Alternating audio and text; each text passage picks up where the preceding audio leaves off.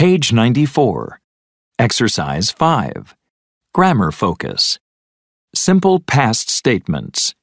Irregular verbs. I did my homework. I didn't do the laundry. You got up at noon.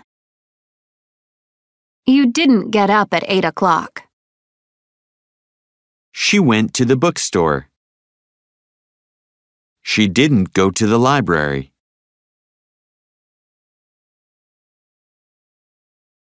We met our classmates. We didn't meet our teacher. You came home late. You didn't come home early.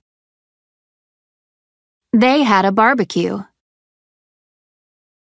They didn't have a picnic.